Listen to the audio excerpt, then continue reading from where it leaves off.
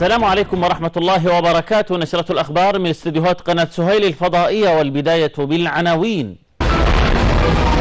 إعلان الرياض. الشعب اليمني في خطر بسبب انقلاب الحوثي والمخلوع صالح.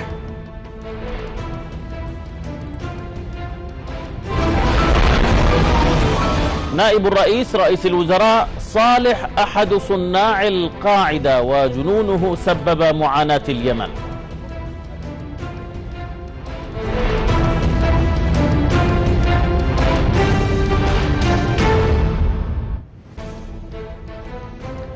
مرحبا بكم. اتفق وزراء خارجية وزراء الخارجية العرب ودول أمريكا الجنوبية على مشروع البيان الختامي لإعلان الرياض وأعرب إعلان الرياض عن قلقه إزاء الأوضاع المتردية في اليمن وأكد الإعلان حاجة اليمن للتنفيذ الكامل لقرار مجلس الأمن 2216 ومطالبة جميع الأحزاب السياسية في اليمن باحترام القرارات المتبناة من قبل مؤتمر الحوار الوطني الشامل وفقا لمبادرة مجلس التعاون الخليجي وجميع قرارات مجلس الأمن ذات الصلة. وقال مشروع البيان إن الشعب اليمني يتعرض لمخاطر كبيرة نتيجة الانقلاب الحوثي وتورط علي عبد الله صالح والاعتماد على قوى خارجية بهدف الاستيلاء على السلطة. وأضاف مشروع البيان إن هذا الانقلاب نتج عنه تهديد خطير لأمن واستقرار ومستقبل اليمن ونسيجه الاجتماعي الأمر الذي أدى أيضا إلى انتهاك حقوق الإنسان ووقوع ضحايا من المدنيين الأبرياء إضافة إلى استحالة وصعوبة وصول المساعدات الإنسانية لمستحقيها.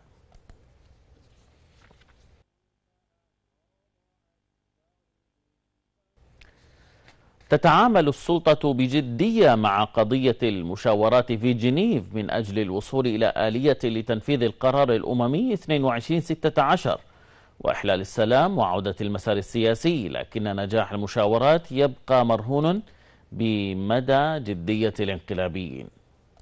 أصدر الرئيس هادي بالأمس قرارا أقر تشكيل فريق خاص للمشاورات وتشكيل فريق فني مهمته التحضير للجولات المحتملة لمحادثات مؤتمر جنيف القادمة. هذا القرار تم اتخاذه عقب اجتماع عالي المستوى ضم رئيس الجمهورية بنائبه رئيس الوزراء وكبار مستشاريه تقرر بناء عليه تشكيل فريق لهندسة المشاورات الوطنية عالية المستوى برئاسة الدكتور عبد الملك المخلافي وعضوية كل من أحمد عبيد بن دغر والدكتور محمد السعدي والأستاذ عبد العزيز جباري والدكتور محمد العامري والدكتور خالد باجنيد ممثلا عن الحكومة الشرعية. إضافة إلى هذا الفريق تم تكليف فريق فني واستشاري برئاسة الدكتور عبد الله العليمي وعضوية كل من الدكتور شايع محسن والأستاذ عز الدين الأصبحي والدكتور معين عبد الملك. السؤال الأهم الذي يمكن أن يسفر عنه تشكيل مثل هذه اللجنة هو ما الذي يعنيه تشكيل هذه اللجنة وما المحددات التي يمكن أن تحكم تمثيل اللجنة؟ المنطق يقول أن اللجنة الوطنية بغض النظر عن الفسيفساء الجغرافية والسياسية التي ينتمي لها السادة الأعضاء فإنهم يمثلون اليمن الاتحادي الممثل بالشرعية الدستورية ومع أن هناك من يريد أن يكون هذا الفريق ممثلا لطرف يوازي طرف الإنقلابيين في المباحثات المتوقعة في جنيف. وعليه فإن دعوة المبعوث الأممي للأطراف السياسية في اليمن للذهاب إلى طاولة المفاوضات تساوي بين الشرعية والإنقلابيين. تساوي بين الشرعية واللا شرعية بل وتعطي عصابات الحوثي ومرتزقة عفاش حق الضغط كما تعطيهم فرصة النفاذ من العقوبة بأي تسوية سياسية محتملة. لذا فإن الأمل مرهون في أن تمثل لجنة المخلاف بما تضمه من رموز وطنية وسياسية ثقيلة الحجم عميقة التاريخ أن تتمثل اليمن شعبا وتاريخا وشرعية وقوة وطنية. قال نائب رئيس الجمهورية رئيس الوزراء خالد بحاح إن صالح هو أحد صناع تنظيم القاعدة في اليمن ولا يزال يلعب دورا مباشرا في تفاقم الأزمة اليمنية بتحالفه مع ميليشيا الحوثي وإصراره على تعطيل أي فرص أي فرص تسوية سياسية على أساسات قرارات قرارات دولي دولية أو مبادرات خليجية. وأكد بحاح في حديث السكاي نيوز عربيا أن جنون المخلوع كان سببا فيما يعانيه اليمن مشيرا إلى أنه انقلب على المبادرة الخليجية التي كانت تضمن له خروجا آمنا. من السلطة مستغلا بوادر الأزمة السياسية بين الرئيس هادي وميليشيا الحوثي في سبتمبر 2014 وتحالف مع المتمردين الحوثيين الذين فرضوا بالقوة سيطرتهم على العاصمة صنعاء ثم وسعوا نفوذهم لمناطق أخرى في اليمن. واتهم بحاح المخلوع باستغلال المؤسسة العسكرية وبنائها أثناء فترة رئاسته على أساس من على أسس مناطقية وولاءات ضيقة.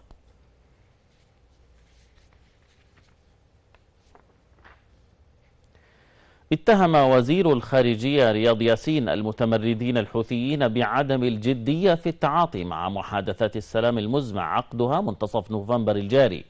وقال ياسين على هامش اجتماع على هامش اجتماع لجامعة الدول العربية في الرياض.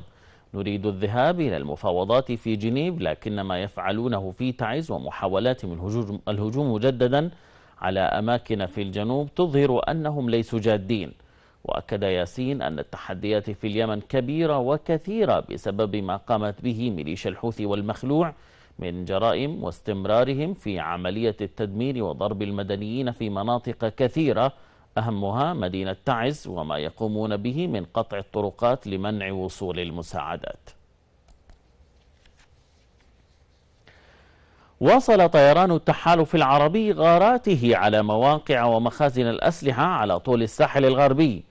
حيث استهدفت غارتان جويتان منطقة المحجر القديم قرب ميناء المخا بكيلو ثلاثة مخزن أسلحة لميليشيا الحوثي والمخلوع. وقالت مصادرها إن الغارة استهدف موقعا إن الغارة استهدفت موقعا للانقلابيين يستخدم في إطلاق الصواريخ على منطقة ذوباب باب المندب حيث شهدت أعمدة الدخان تتصاعد من أماكن القصف.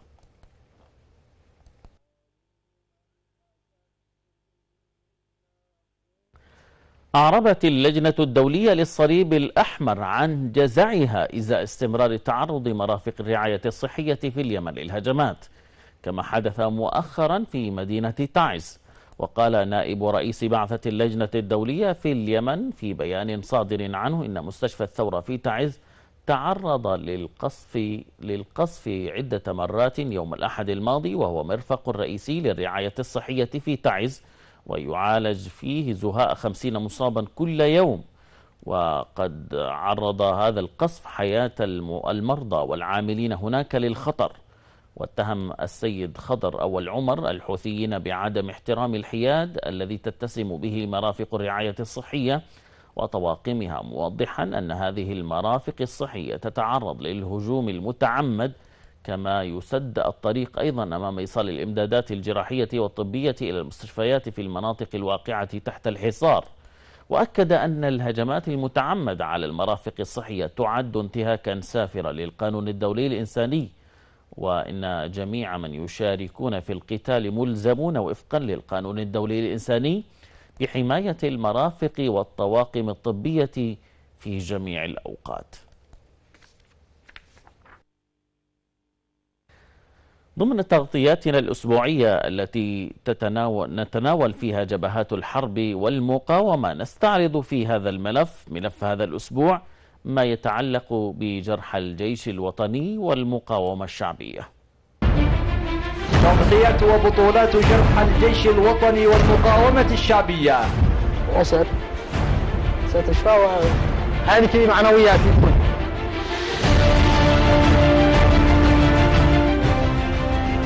سلسلة تقارير خاصة تأتيكم على شاشة قناة سهيل الفضائية. من الاثنين التاسع من نوفمبر وحتى الخميس الثاني عشر من نوفمبر. أقامت مؤسسة الرواد التنموية دورات تدريبية ومهارية لجرح المقاومة الشعبية والجيش الوطني لتأهيلهم ورفع معنوياتهم ودمجهم في المجتمع. أحدهم فقد عينه والآخر بترت ساقه. وثالث فقد يده. الكل في هذا السكن أصيب برصاصات الانقلابيين وحقد الطائفيين ولأجل إعادة دمج الجرحى بالمجتمع ورفع معنوياتهم وإعادة تأهيلهم أقامت مؤسسة الرواد التنموية دورات تدريبية ومهارية لجرحى المقاومة والجيش الوطني لمدة أسبوع. يهدف هذا البرنامج إلى دمج الجريح في المجتمع يهدف هذا البرنامج إلى أن الإعاقة أو الإصابة التي أصاب بها الجريح لا تمنعه من العيش في المجتمع وأن لديه قدرات وطاقات ممكن يستفيد منها آه، في حياته المستقبلية. الأنشطة والأسمار والعروض زادت من معنويات الجرحى وحثتهم على أن يكونوا أعضاء فاعلين محذرة من أن تجعلهم الإعاقة أعضاء جامدين وليس لهم أي أثر في المجتمع. سعت المؤسسة إلى تطوير نشاط الجرحى لكي يعودوا إلى المستقبل ويكونوا فاعلين في المستقبل رغم إعاقتهم ورغم ما عانوا وما أصيبوا في جبهات القتال. فالدورة زودتهم بأشياء كثيرة لم يكونوا مدركين لها من قبل.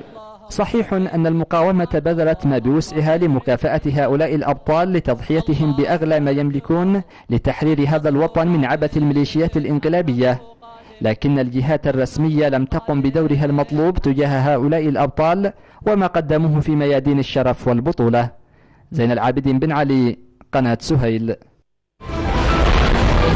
أكيد أكيد كيف ما أضفتها أضفت لنا الكثير. يعني أول شيء معلومات وعزيمة وقوة. وثبات على ما إحنا فيه. استفدنا والله من هذه الدورة. حاجات كثيرة. منها تنمية النفس تطويرها. كيف انك ما تجلس كسلان تعمل واصل. يعني تطور نفسك تعود نفسك على الشغل. تشغل مخك. حتى لو أنت جريح ما بيش معك شغل ولا معك أي شيء. يعني تقرأ كتاب تقرأ قرآن كريم تقرأ أي شيء. كانت دورة ناجحة ودورة ممتازة. كي تطور ذاتك ذات البشري الإنساني وتغير مجرى حياتك قد تستفيد من هذا ما يعكس نظرك في واقعك وفي مستقبلك. قد تنظر إلى المستقبل لكن أحيانا تصطدم بأشياء. فهذه الدورات التنموية للبشر هي تنمية ذاتية للعقل كي تطور ذاتك كي تعيش في مستقبلك حياتك. كيف تفكر؟ توفيق ناجي أحد المواطنين الذين تعرضوا للاختطاف من قبل الميليشيا الانقلابية وبعد أن أفرج عنه قرر أن يغادر منطقته وينضم إلى المقاومة الشعبية في مأرب للتصدي لميليشيا الحوثي والمخلوع. وهناك تعرض للإصابة وهو يدافع عن وطنه وشعبه. نتابع. مشاهدينا الكرام قصتنا اليوم أحد جرحى المقاومة الشعبية هنا بمحافظة مأرب والذي لم تمنعه إعاقته من مجابهة ميليشيا الحوثي في جبهات القتال بعد أن عانى منها الشعب معنا. أنا توفيق ناجي صالح القطيبي من محافظة صنعاء من منطقة خولان خولان الطيار أنا نزلت مع المقاومة بسبب ما تعرضنا له من اضطهاد وإهانة. ويعني أعانوا الناس الحرية بهدلون يعني تشرب تخيل إنه يوم أنا نازل السوق أشلقه. أشوف طقم يلاحقنا وإحنا بمطر مع واحد صاحبي. فوق مطر وأشوف الطقم ورانا أقول له هذا الطقم اللي يطاردنا نحن ولا؟ قال ماشي ما أظن. يعني حولنا ما نحن لا ما بيطاردون إحنا درين إن إحنا المقصودين بهم. يعني طقوا النار عندنا. نزل من فوق المطر شو قال وقف لا تصير كنا جايين قات وهذا قال اطرح الآلي. قلت له إيش يشبه هذا؟ قال والمعذره منك اطرح الآلي. ولا صد لا صدري الآلي 40 بندق لا صدري. يقولون إحنا نوزع شرائح قلت اقوم قاتل على حاجة ماشي معي شرائح خلينا نفتش في الشرائح هذه. طلعت البندق فتش. ما, ما القى شيء شريحه قال إيش من شرائح؟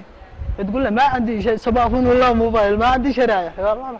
وتفتش فتش وقالوا خلاص أنتم بلغت داعش عند داعش قلت يا أخي قال كيف داعش أول شيء مسكتونا على عند داعش خذونا وودونا لسجن جحانه المديرية مديرية جحانه كانوا يستخدموها سجون. يعني حطونا هناك أربع أيام كأنها 400 سنة. والله لا قد كرهت عمري لا هنا. المهم خرجونا إلا بعد وساطه قبلية. يعني إنه عندنا في خولان بأصبح ثارات مشاكل. حتى اللي عودي ولا ما عودي قام يقول لك ليش تمسكه؟ وما بشي في ذنبه. والناس عارفين أصحابنا اللي عندنا هم حواديها. دارين أنا صافي ما عندي شيء. المهم ضاقت علي بعد ما مسكوني وهذا قلت ما بش فايدة؟ بيلاحقوك وأنت صافي. موت وأنت في الشرف ما يدري شرف أفضل من الحين زقمك وأنت خاطي في الطريق. قوم قاتلهم نزلت أنا مارب لي ستة شهور ستة اشهر من بعد ال... اصبت وأنا في جبهة المخدرة. الكم. طلقت عيار 12 سبعة. وأنا ماشي طالع الموقع ويضرب يعني هدة المشط. وإن شاء الله دحين تتعافى وعود الجبهة وإن شاء الله دحين كده إحنا في أول بداية خولان ما قدر ما نطهر خولان ومن خولان بعد طهر صنعاء. إذا طهرت خولان ابشروا أبشروا بالنصر. فمن خولان يأتي النصر. معي زامل حول يعني دافعي وغيرتي على الوطن وعلى هؤلاء البغاة والروافض أه؟ قلت فيها يا طبول الحرب دقي وانذري الصافراتي واعلنوا حالة طوارئ واشعلوا الدنيا حريقة يا عصابات الثعالب والذئاب العاويات جيشنا والشعب ضايق لا تزيدوا فوق ضيقه. لن تعودوا بالإمامة سيدكم والسيدات والقسم. ما تحكمونا حكمكم ذا منطيقة لو ملا بري وبحري والسماء بالطائرات عزمنا فوق السحايب. ما حجر عطرات عيقه وعد مني يا بلادي والثمن تلقى حياتي من يفرط في ترابك ذاك دمه. قبل ريقه أو صاب الختم عد بوراق النباتي. تبلغ المختار دايم ليتني وأنا رفيقه. صاروا يقول.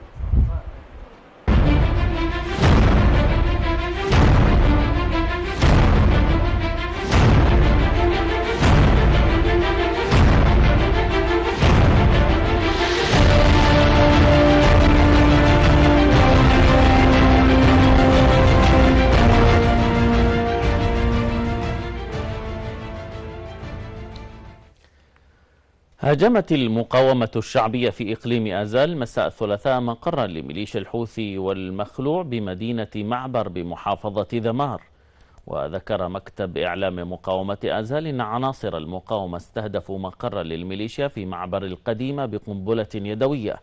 ويأتي الهجوم بعد ساعتين من هجوم مماثل استهدف مقرا للحوثيين في مدينة ذمار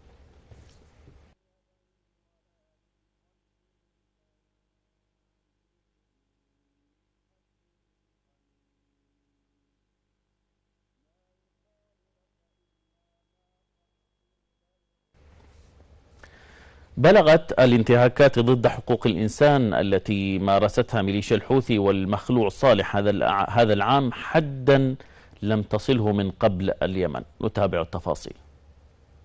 نشر المركز الإعلامي لثورة اليمن انتهاكات ميليشيا الانقلاب منذ 200 يوم ضد حقوق الإنسان حيث فاقت 15 ألف انتهاك. ورصد المركز الإعلامي الانتهاكات خلال الفترة بين الحادي عشر من أبريل والسابع من أكتوبر من هذا العام حيث وصل عدد القتلى إلى 1828 من المدنيين بما فيهم ضحايا القصف العشوائي و30236 إصابة و2905 45 مختطف. وتعرض 33 منزلا للتفجير والتدمير في أرحب ورداع كما تم اقتحام 585 مبنى وتدمير 68 مشروعا خدميا من آبار مياه وأبراج كهرباء في محافظتي صنعاء والضالع. 218 انتهاك بحق الإعلام. كما تعرض 1851 ناشطا للتهديد. وبلغ عدد الموظفين الذين فصلوا ووقفوا عن الأعمال في وظائفهم الحكومية إلى 1709 وتم تجنيد 2500 طفل. 1365 انتهاكا أقدمت عليها ميليشيا الحوثي والمخلوع في أنحاء متفرقة من محافظة ذمار خلال عشرة أشهر. نتابع التفاصيل. رصد فريق حقوقي في مدينة ذمار الجرائم والانتهاكات التي ارتكبتها ميليشيا الحوثي بالمحافظة منذ ديسمبر الماضي 2014 وحتى نهاية شهر أكتوبر المنصرم. موضحا أن هناك انتهاكات لم يشملها التقرير الإحصائي بسبب عدم الإبلاغ بها لخوف بعض السكان من بطش الميليشيا. وبحسب التقرير ارتكبت ميليشيا الحوثي وصالح خلال فترة دون العام بشهرين 1365 جريمة وانتهاكا في محافظة ذمار تصدرت الانتهاكات أعمال القتل والاختطافات والإخفاء القسري. وبحسب تقرير الفريق الحقوقي فإن 64 حالة قتل ارتكبتها الميليشيا الانقلابية إضافة إلى 75 حالة إصابة في مختلف مديريات المحافظة. وذكر تقرير الفريق الحقوقي من مدينة ذمار إنه تم تسجيل 367 حالة اختطاف أقدمت عليها ميليشيا الحوثي وصالح بينهم ناشطون وإعلاميون وأن هناك 113 حالة إخفاء قسري و17 حالة تعذيب لمختطفين ومخفيين. وقال الفريق الحقوقي الراصد لانتهاكات ميليشيا الحوثي وصالح بمحافظة ذمار إن الميليشيا اقتحمت خلال عشرة أشهر من ديسمبر الماضي 2014 وحتى أكتوبر الماضي 2015 اقتحمت 41 منزلا وفجرت 12 آخرين وألحقت الضرر بخمسة منازل أخرى. كما أقدمت المسيرة القرآنية حد زعمها خلال فترة الرصد على اقتحام 14 مسجدا وتفجير اثنين آخرين بالإضافة لدارين لتعليم القرآن الكريم.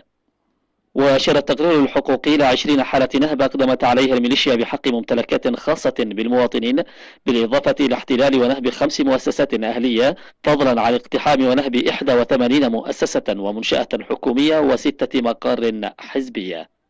وضمن ممارساتها القمعية نصبت ميليشيا الحوثي بمحافظة ذمار خلال عشرة أشهر تسع محاكم خاصة لتمرير جرائمها وواحدا وعشرين سجنا خاصا للمناوئين لها فضلا عن سجون سرية أخرى كما نصبت خلال الفترة من ديسمبر الماضي وحتى أكتوبر الماضي 85 نقطة تفتيش في أنحاء المحافظة. ومن جانب آخر اعتدت الميليشيا خلال الفترة المذكورة بحسب التقرير على ست فعاليات احتجاجية ومنعت إقامة أي فعاليات أخرى. وأوضح التقرير الحقوقي لفريق الراصدين بمحافظة ذمار أن ميليشيا الحوثي وصالح خزنت أسلحة في أحياء سكنية شكلت خطرا على المدنيين وبلغ عدد حالات تخزين الميليشيا لأسلحة في الأحياء السكنية 13 حالة مسجلا التقرير نزوح 400 أسرة جراء تخزين الميليشيا للسلاح وحروبها واعتداءاتها في عدد من مديريات محافظة ذمار نشرتنا انتهت وهذا تذكير بأهم عناوينها. إعلان الرياض الشعب اليمني في خطر بسبب انقلاب الحوثي والمخلوع.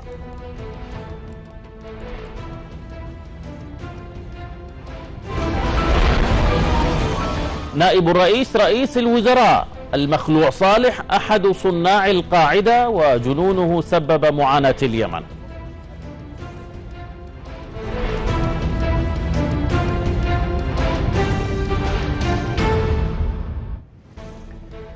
للمزيد يمكنكم متابعة صفحات القناة على مواقع التواصل الاجتماعي الفيسبوك وتويتر واليوتيوب في أمان الله.